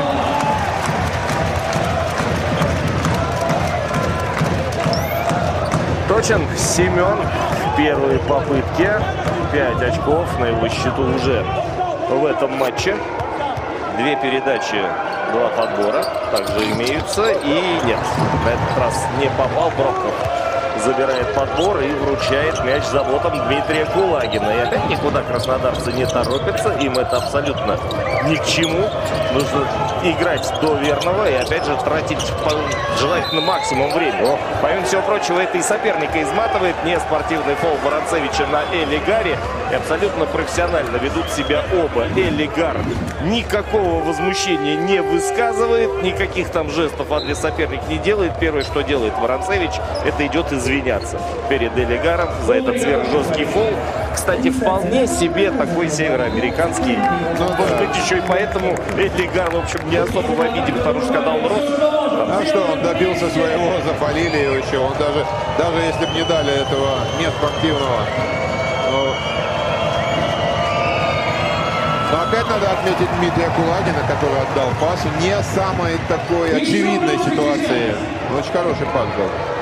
Элегак подтверждает то, о чем мы говорили по поводу траектории его исполнения штрафных. Во второй заходит цель, и ведь, опять же, понимаете, какое дело? Ведь это абсолютно тренируемый элемент. Здесь у нас, вот опять же, отсутствующий сегодня Кайл Хайтс пример. Забивал один из двух в лучшем случае. И сейчас в этом сезоне там за 80 далеко. Процент реализации штампует как автомат. Хотя, в общем, казалось бы, зачем тратить время и заниматься такой ерундой? Здесь здорово Хиггинс. Хиггинс, Хиггинс здорово, но упускает мяч за боковую. В этой суматоке опять Кулагин был там рядом. И сейчас он и будет выбрасывать мяч из-за боковой. Хорошо борются обе команды. Хиггинса надо отметить за, за действие в защите, но потом не, не сумел укротить мяч. Но плюс один не было контроля мяча армейцами, поэтому 8 секунд остается на бросок у Локомотива. Ивлев до Лейси доводит, и тот попадает. Но вот не может это, он да. вечно мазать. Не может. Я говорил о том, что видно по движениям, что он может. Ну, рад оказаться прав. Он учился в Алабаме. Два сезона профессиональной лиги провел э, в Италии, в Песару и Динамо Сассари. Так вот, с первого курса университета он меньше 10 в среднем не забивал нигде. То есть действительно такой стрелок, агрессор, но по-другому и сложно. Собственно, обратить на себя внимание команд, которые претендуют на победу в Еврокубке, на повышение в классе и так далее, и так далее. А... Очень активные армейцы на подборе после промаха Клайберна. Не выключились из борьбы, подобрали мяч и кто там будет? Хиггинс будет бросать штрафные повтор будет смотреть э, арбитр. Отгоняет тренера для того, чтобы тот не вмешивался в работу.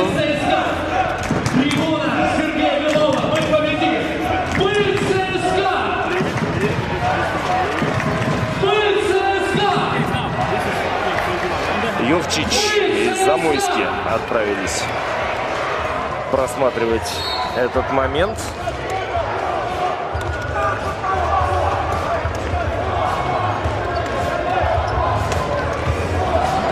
Коротает этот пау эту паузу маскот армейцев просто конь в приятной компании.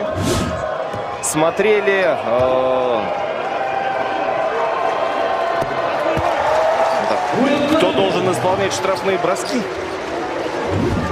То есть, так активно показывали 21 21 21 Ну, возможно. Другой версии у меня нет. Э, Клайберн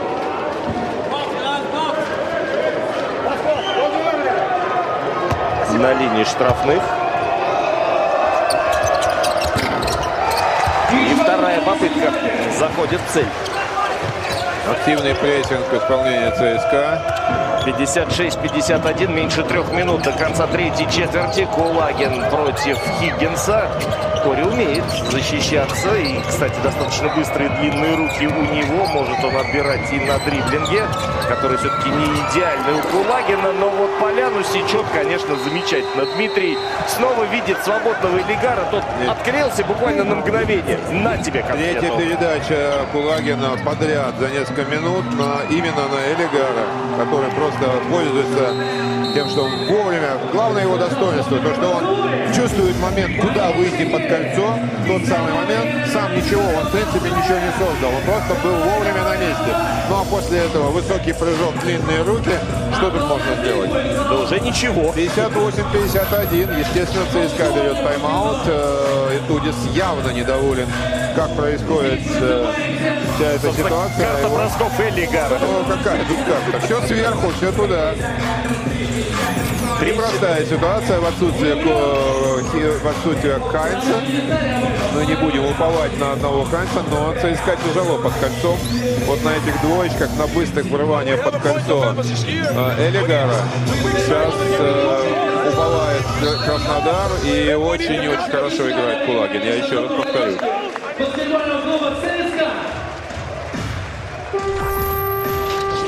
Если у ЦСКА не наладятся двухочковые трехочковые броски, им будет очень сложно выиграть этот матч. Э, Но если наладятся, они готовы, могут буквально 10-очковое преимущество, дефицит съесть за пару минут. Все в этом все и происходит. Найдется ли тот лидер у ЦСКА, который обычно находится, это или Нандо Деколо, или Хиггинс, или, или Родригес.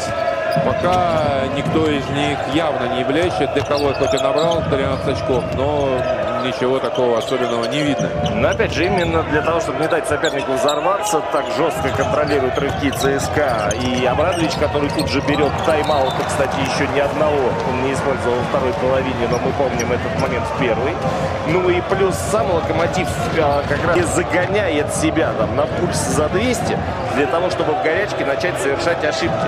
Они продолжают атаковать во вполне себе понятном и размеренном темпе, в том числе и мучая соперника в защите. И мне кажется, больше надо сыграть сейчас на Хиггинса, потому что бразды правления на площадке отдали вот сейчас Клайберну, который, я повторюсь, мне так кажется, но это мое субъективное мнение, не в полном порядке морально, в первую очередь. Может быть, и физически, я не знаю. Но он э, совершает действия, как он сейчас потерю совершил, а на него команда играет. Он пытается за свои сила, но с риском для собственного здоровья Дмитрий проходил. Тем не менее, заработал право на штрафные броски. на высоком прыжке, уходил, убирал мяч. э, ну, тут уже потерял э, потерял кольцо где-то в падении. Ну, два штрафных будет исполнять. 51-58 за минуту 48 до конца третьей четверти. Преимущество полное пока идет у Локомотива. ЦСКА, ЦСКА выглядит и по игре, и по счету отстающим.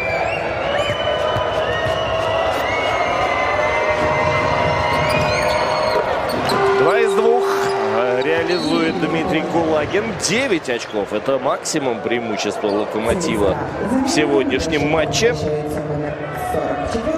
И Хан- Хантер на площадке вместо Семена Антонова.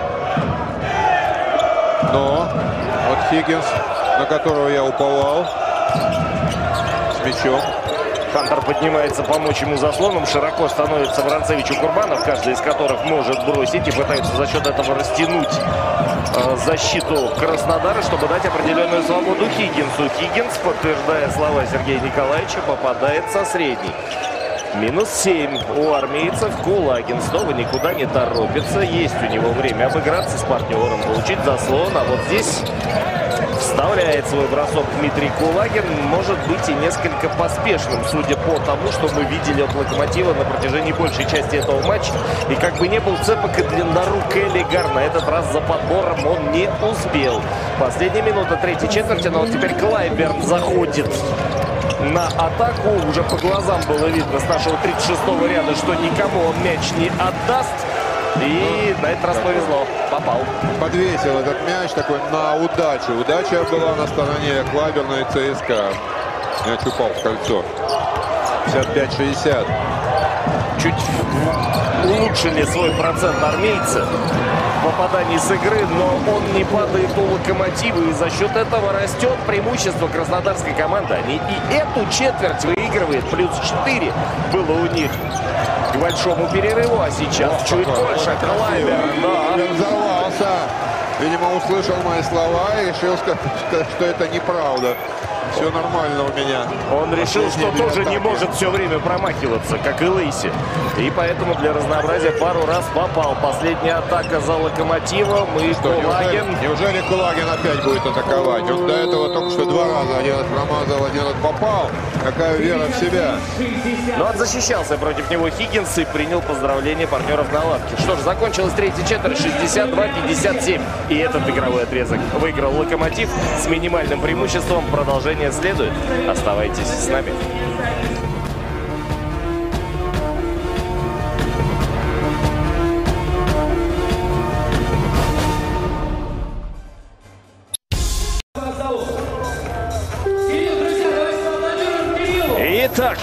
Все готово к началу четвертой четверти матча между ЦСКА и Локомотивом. 62-57. Кубанцы, выиграв все три предыдущих отрезка, по-прежнему впереди 26-25 по подборам. Локомотив также вырвался вперед. И реализация двухочковых бросков просто пугающая для ЦСКА. 39% всего армейцев, 67% у Локомотива. Это при том, что армейцы добавили во второй половине. Что-то я давно не помню, чтобы армейцы проиграли три четверти к ряду. Это сенсация, можно сказать, потому что уж э, ну, давно известно, если кто выигрывает третью четверть, э, тот выигрывает матч. Ну, не истина, конечно, но часто так бывает. Вот так вот, э, Локомотив выиграл все три.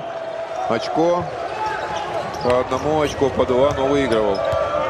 Хвостов на площадке. Четвертая четверть. Вали, Коллинс, э, Бэп и Павел Антипов у Локомотива. У него 4 фола, 3 у Беба. В общем, тут много кто подвис. Кваля давно на поляну не выходил. Да и Марди Коллинс засиделся на мелкой работе. Но посмотрим. Абрадович знает, что делает. Хвостов попадает треху. Вторую в этом матче. Проблема Клайберна, который отошел от Хвостова.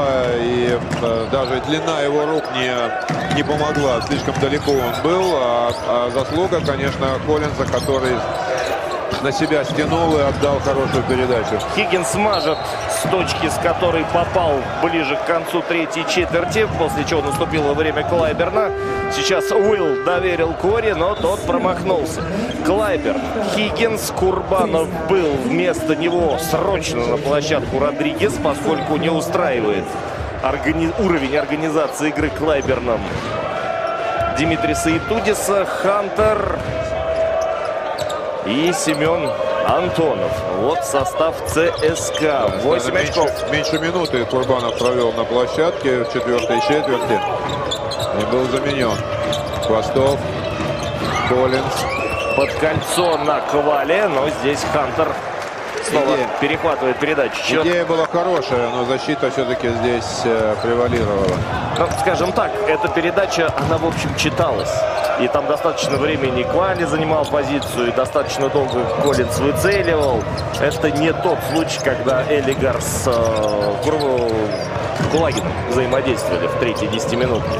Бэб, смотрите, как далеко выходит за Родригесом.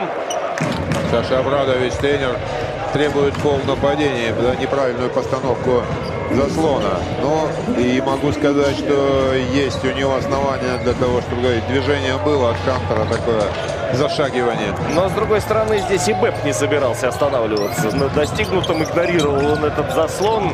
Действительно, в ту очень, и в другую сторону можно было очень свистеть. плотно, очень плотно действует. И даже Хиггинс уже мажет. Ну а вот тут повезло, повезло Клайберну, который оказался в нужном месте в нужный час. Легкие два очка из-под кольца после промаха Родригеса. Родригес все так же не может найти себя. Ни одного очка на его счет, на счету испанца нет. Коллинс снова начинает выводить. Интересная манера у Коллинса. Попадает со средней дистанции, очень уверен в себе, но... И почти с прямой рукой, руки бьет, и даже сейчас не особо защитник был рядом, но тем не менее, когда защитник рядом, за счет того, что он высоко прыгает, еще с прямой руки бьет, трудно его достать. А это вообще я не видел, да, чтобы Хиггин сквозняка пустил из угла. Да.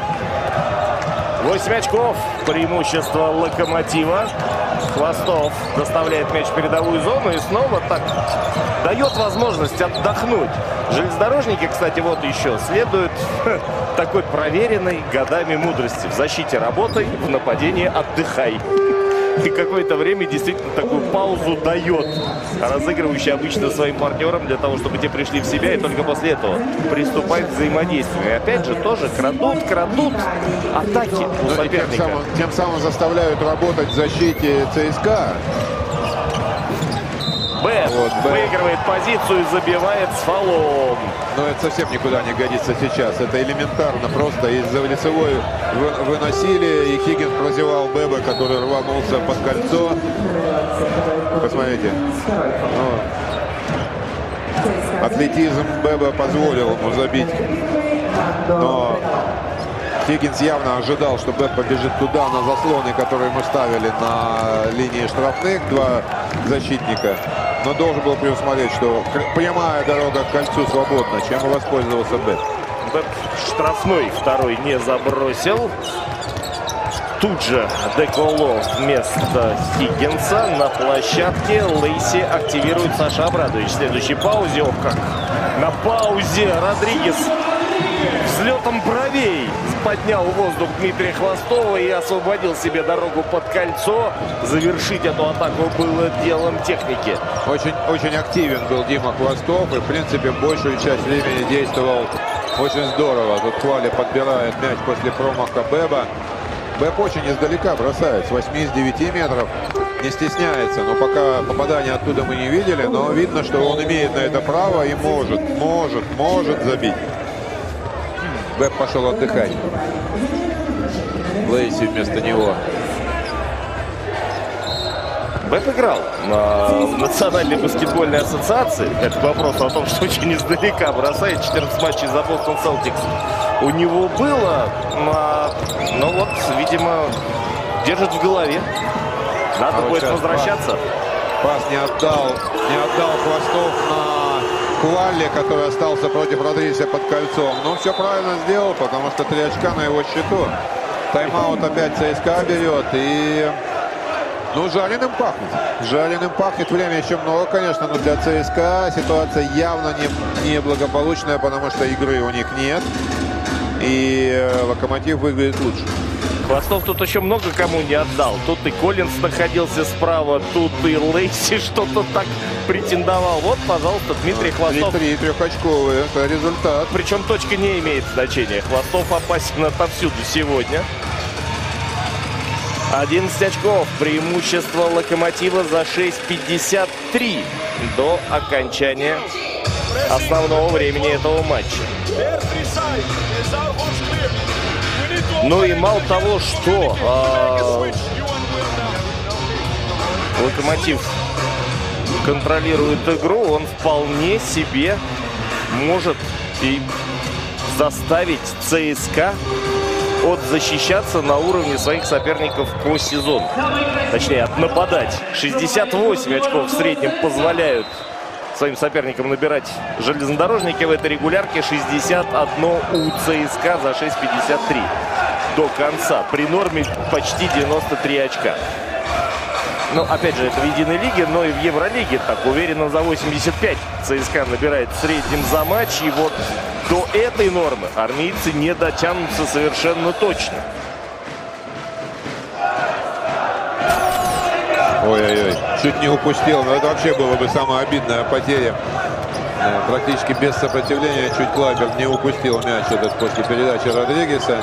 Есть какая-то небрежность в этой ситуации. Надо доколол свою любимую правую сторону. О, Хостов очень-очень, очень близко с Родригесом и не дает тому дышать, просто не дает дышать.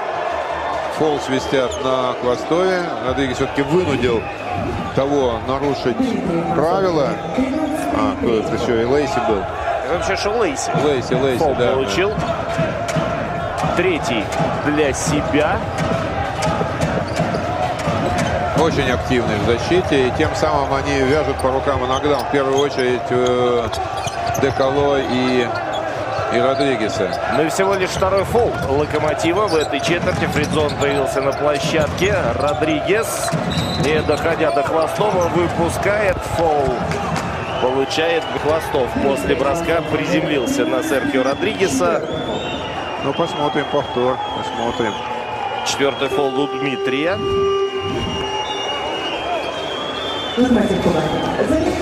Задел, по-моему, руку. Задел. Точно не хотел. Но это вот как раз э, то, о чем я говорил. Желание и очень близко играть защитника, она провоцирует то, что ты тебе получишь пол и э, поставишь э, игрока противоположной команды на линию штрафных. Но Родригес тоже хорошо бьет штрафные. Мало шансов, что он оттуда промажет. Есть шанс подтянуться у ЦСКА. Очень расстроен Хвостов. У него четвертое персональное замечание. Тоже на дальний конец скамейки отправляется. Ну, Родри, э, Бабурин сидит рядом, который тоже специалист по защите, но почему-то маринует его на скамейке. У Саши Абрадовича другие виды на него в этой игре пока. Три из трех забивает Родригес. 8 очков преимущества Локомотива. Армейцы начинают прессинговать. Кулагин не стал до конца тащить мяч в передовую зону. На полдороги скинул эту обязанность на Лейси. Тот расставил команду в позиционное нападение. Коллинс против Родригеса. Его только сейчас приходится Марди перебежать на другую сторону. Сдваивается Деколо на нем. Кулагин не дает в угол на свободного партнера. Кулагин проходит сам. Очень хороший мяч забивает Дима. Э, перевисел, на левую руку переложил. Сложный мяч э, забивает. А Хантер мяч мажет из-под кольца. Антипов подбирает тут же в борьбе и подбирает этот мяч. И Локомотив снова в атаке. Лейси и опять не торопится никуда. Все те же высокие двоечки, пик-н-роллы. Лей... Лейси видел, что справа его все-таки догоняет и накрывает Кантер. Он увидел ту дырочку слева, но хоть и правой рукой, но смотрите, ну, очень красиво красивый завершил. мяч, красивый мяч. И мы видим, э, что недаром все-таки Абрадович верит в Лейси, держит его на площадке очень долго и много. Всего лишь пятое очко на его счету, но такое нужно. Ну и Элигар появляется на льду. На льду. Все, приехали. На паркете вместо Квали.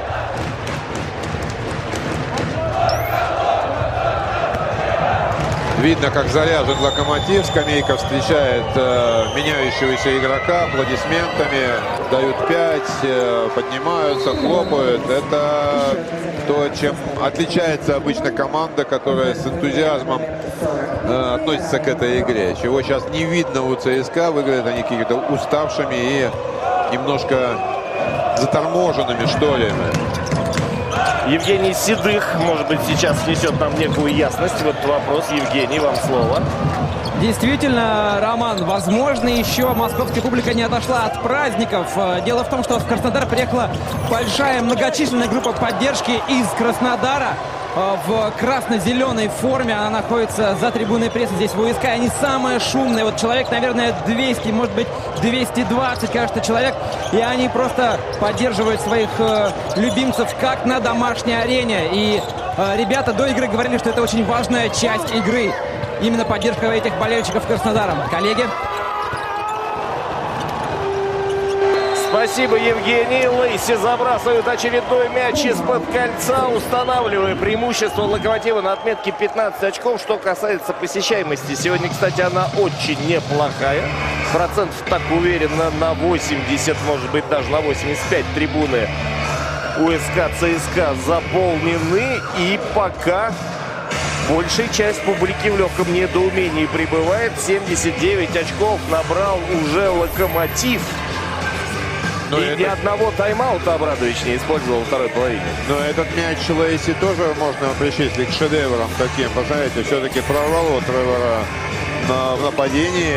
Очень сложный мяч забил. И как раз это вот яркая иллюстрация тоже. Перед этим атака была, когда армейцы атаковали. И в подобной ситуации с сопротивлением из-под кольца промазали, как и в предыдущих атаках, несколько раз промазали сопротивлением. А э, Локомотив сопротивление забивает. И Кулагин забил, и Лей- и Лейси э, забил несколько раз.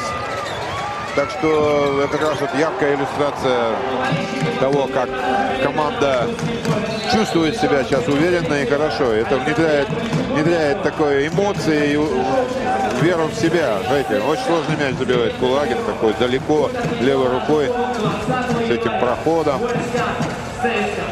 И Кантер был на месте. Ну что же, минус 15 у ЦСКА за 4.48. Отыграть нужно 15 очков, причем а, максимум за четверть армейцы в этом матче набирали 20. Но... Вот Родригес. Первые три очка на его счету. И Они первый тайм-аут. Вру, вру, из-под кольца он забивал, полы он забивал, да, как раз он два забил. Но это, это как раз четвертая четверть и первые, первые, первые, первые трехочковые. Да. Саша Абрадович тут же берет тайм-аут, потому что вот такой легкий трехочковый может воодушевить соперника. И сейчас это, его творческие планы это абсолютно не входит времени. Совсем немного, и сейчас ни в коем случае нельзя позволять армейцам, по мнению Саши Абрадовича, выдавать такие длинные удачные отрезки. Поэтому пропустили три. Отлично. Возьму тайм-аут. Еще раз повторю то, о чем договаривались. И будем продолжать. Будем продолжать терпеть не только в защите, где терпение только приветствуется, но и в нападении. Держать себя в узде и продолжать разыгрывать доверно и изматывая соперника, не оставляя ему сил на заключительный штурм. Очень интересные ждут нас 4,5 минуты, оставшиеся до конца четвертой четверти. Для у ЦСКА нужно, нужно, чтобы кто-то включил режим бога, как Родригес сейчас сделал. Что сделает защита Локомотива, если Родригес будет или кто-либо другой будет так забивать, как, как, как сделал он это легко сейчас. Ой, Локомотиву нужно, конечно, не спешить в атаке, э, тормозить какую-то игру, э, на первых секундах не атаковать. Армейцы ставят зонный прессинг, и на какое-то мгновение смущает он игроков Локомотива. Тем не менее, форсируют они центральную линию и продолжают армейцы защищаться очень плотно. За Элигаром тоже не бросающим трехочковый выходит Семен Антонов. А для чего? А для того, чтобы иметь возможность переключаться на двойную опеку. И в итоге на пару с Деколо вытеснили они Кулагина за центральную линию нарушено правило зоны. То, чего боялся Саша Абрадович, но армейская защита сработала. Двойное такое э, захват владеющего мячом Дмитрия Кулагина. И Деколо, ну а кто, если не он, отправляется в проход. Достаточно легко ему тут позволили забить. И это имело бы смысл, если бы до конца матча оставалось 2 минуты, а не 4. И снова зонный прессинг. Ой-ой-ой. Очень похоже было. Очень, очень похоже было, что Лейси заступил тут за среднюю линию. И сейчас Этудис тут как раз пытается арбитру это объяснить, находящуюся рядом с ним. У Коллинза мяч из рук повалился. В итоге 3 секунды до броска. А Лейси у центральной дуги. И бросок. Он ударяется в душку. И могли при определенном течении обстоятельств железнодорожники продолжить бороться за эту атаку. А что тут произошло?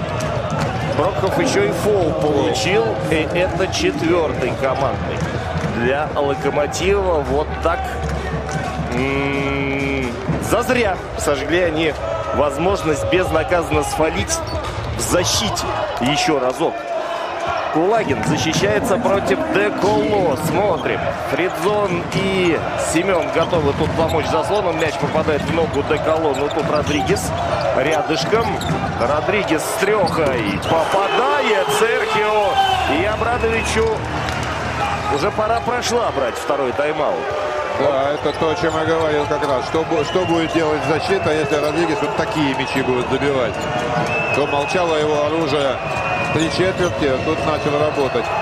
7 очков преимущество Локомотива. 15 было только что. До Элигара доставляет мяч под кольцо. Семен успевает сфалить. Элигар два штрафных будет исполнять. И по тому, что мы видели в его исполнении сегодня, фол оправдан. Он оправдан уже хотя бы потому, что не дали сверху вколотить, добыть гарантированные два очка.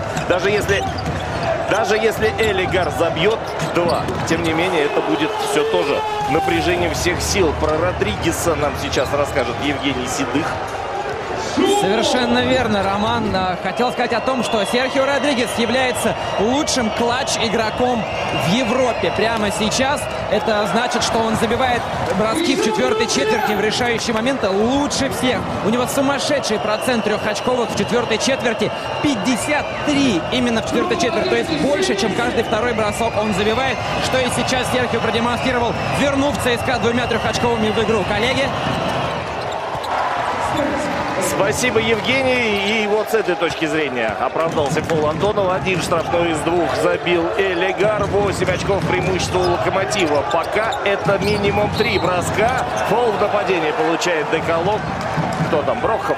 Брохов Успел да. поймать его на себя. Ну уж очень откровенно сейчас надо Деколо шел. И хорошую позицию занял Броков. Хорошую позицию занял судья. Потому как, потому как э, ну, регулярно Нандо идет проход именно таким образом, и фолы Ну, откровенно. может получать Нет, чаще. Когда, когда он на плече своего подталкивает и выигрывает расстояние, а здесь он никакого расстояния не выиграл. И получилось, что он уперся и локтем пытался отодвинуть противника. Совершенно четко это был пол нападений, конечно. Бедзон почти перехватил этот мяч, хотел. Нет, но слишком резко пошла передача наигранная связка с Кулагиным, да, помягче Элигар не смог никак выловить этот мяч. Было бы удивительно, если бы он его поймал. Да. Причем из-за соперника вылетал мяч. Родригес 3 из 3. Какие 53%, Евгений? Три из трех в этой концовке забивает Серхио Родригес. 5 очков преимущества железнодорожников. И вот уже два броска между соперниками за 2 минуты 21 секунду до конца. Вот оно преимущество трехочковых атак. Но Родригес, конечно, включил режим свой MVP. Пару Всего лет. на свете. Всего на свете пару лет. Знаете, очень сложный. Два, два защитника на нем. С хорошей траекторией, очень уверенно. Молодец, Серхио. Это было красиво. Булагину кровь из носа нужно забивать два броска для того, чтобы 7 было между соперниками. Это как-никак все-таки три броска. Опять же, первый справляется. Забивает Дмитрий Кулагин 14 очков. Он сегодня своей команде принес. Больше из всех участников этого матча на счету лишь Нандо Декало. Но сейчас Родригес в огне. 14 очков он уже набрал. Причем все в четвертой четверти. Так? Да. С удивлением заглядываем мы в протокол, выясняется, что да. Все 14 очков Родригеса именно на эту 10-минутку пришлись. Семен Антонов исполняет свою партию 82-77. Лейси Хорошо в защите. Броков под давлением Деколо мяч все-таки сохранил. Вот так потрепали соперника. 10 секунд у Локомотива на бросок остается. Коллинз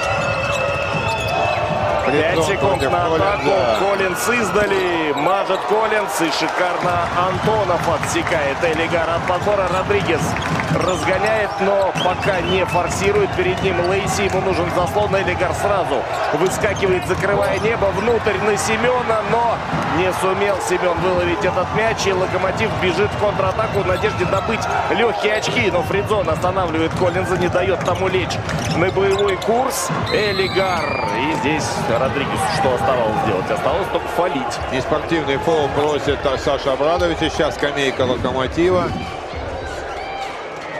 Нет, решает судья, что это не было похоже на неспортивную борьбу.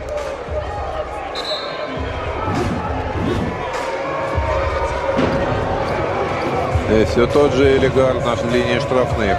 Один из двух забивает стабильно. Вот вводили вроде в футболе в свое время хорошее правило, когда требуют игроки желтых карточек для соперника, должны были судьи давать им. Но в итоге как-то забыли и раз на десятый, может быть, дают. Вот в баскетболе бы вести такое правило. Просит тренер команды соперника или игрок на площадке не спортивный для соперника. Получи технически, успокойся. Потому что судьи иногда на площадке слишком много становится. И не только тех, кто носит серое или соответствующий цвет униформы. Просто беда какая. Элигар забил первый штрафной и забил второй в ключевой момент. Снова плюс 7 у его команды и минута 16. Где ЦСКА будет выкраивать эти три лишние попытки. Да еще и тайм-аутов больше. У Дмитрия Саитудиса нет. Родригес. Три из четырех. Фалит, Семен и Элигар. Было бы, наверное, какое-то на уровне чуда, если бы он забил еще. Хотя это его броски, вот именно вот это рваное движение, с, такой с отпрыжкой назад. Но он хорошо бросает. И мы убедились в этом, что он бросает хорошо эти броски. Но сейчас все преимущество, естественно, у Локомотива, потому что всего минута с небольшим и до конца. Плюс 7 у Локомотива и Элегар Элигар мажет штрафной. Но тут уже может он себе позволить 8-9 очков, да даже 7. Разница небольшая. За минуту 4. За 64 секунды. Его команда на три броска соперника опережает. Это если с трех очков. Хотя с Родригесом не заржавеет. Но вот, пожалуйста, 8. Родригес поднимает да Элигара в воздух. Ладно, ну но это уже это совсем не нужно было. Не по-игротски сейчас, не по, не по делу сейчас бросал Родригес. Э, такой на удачу в сторону кольца. Это точно, он зря сделал. Есть хорошо бросающие игроки. Деколо тоже потерялся. Кулагин очень уверенно контролирует мяч. Непонятно, за что тут Курбанов не понимает, за что ему был выписан фол. Кулагина очень хорошее ведение с, с резкой сменой движения, направления движения. Он этим пользуется. И сейчас как раз э, все карты ему в руки на очередные два штрафных в исполнении. Нет тайм-аутов у ЦСКА. Последняя победа Локомотива над ЦСКА датируется 4 декабря 2016 года. Тогда в Краснодаре Локомотив победил со счетом 83-74. И самым результативным игроком матча в составе ЦСКА был никто иной, как Дмитрий Кулагин. Тогда он принес 13 очков. Интересная игра была. 10-15 очков по ходу первой половины армейцы вели, но Локомотив все это отыграл и вырвал победу. Сегодня Дмитрий Кулагин самый результативный игрок матча в составе. Еще и потеря у ЦСКА. Локомотива Кубани. Более того, он самый результативный игрок матча в обеих командах. 17 очков на его счету.